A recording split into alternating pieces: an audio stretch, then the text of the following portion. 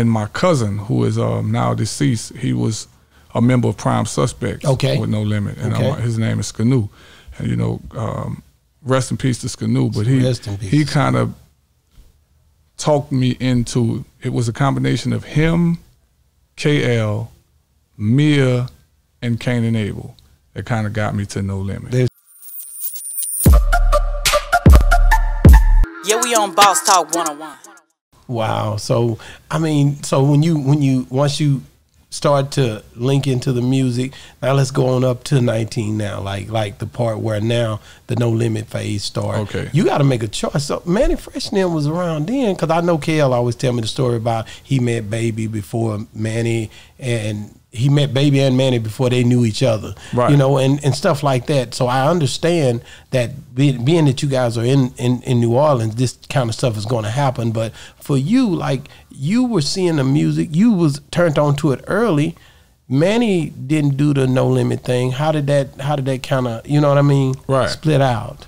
Well, Manny had already um, been with Cash Money before Okay. he um, before No Limit had before Mo Lim- No Limit had um, had got really out there. Okay. Manny was already with Cash Money, and in fact, I was um, courting Cash Money at the time. Okay. and I use the word courting because I was hanging around. I did a song with BG, and I was just trying to get in. Yeah. and, you know, it was it was I was just trying to get in, get in where I fit in, and um, Where's that song at with BG? That's my. it's guy. on Chopper City on the first. Uh, I got to go Chopper City. It's called Niggas in Trouble.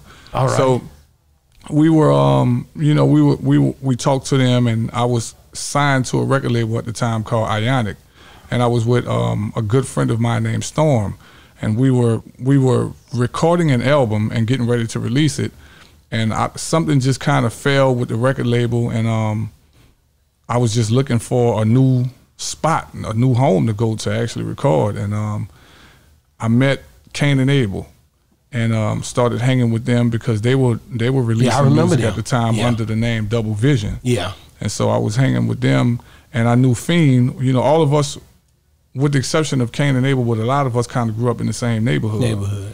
And so I was meeting some of the other guys through the guys I knew from my neighborhood. And my cousin, who is um, now deceased, he was a member of Prime Suspects Okay. with No Limit. And Okay. um, his name is Skanu. And, you know, um, rest in peace to Skanu. But he, Rest in peace. he kind of talked me into it was a combination of him, KL, Mia, and Kane and Abel that kind of got me to No Limit. They was trying to get you. So and if I missed out anybody, I'm those, sorry, those are we just didn't the mean names to. that came off. But uh, let my me head. ask It you seems that. like me a big Me'll be hustling. be hustling. We already see lot that she a hustler. right. So like, so when you made that decision though, so you had an alternative to go to Cash Money. So cause cause to me, you know, the new, No Limit thing was big. You know, even before the Cash Money thing took off, of course. Um, but you had choices back then. Yeah, what what Cash Money was big locally. Like See, in I didn't. region. We we wasn't here. yeah, in this region, they were like, yeah, they dominated this region. Even when Body Body was out.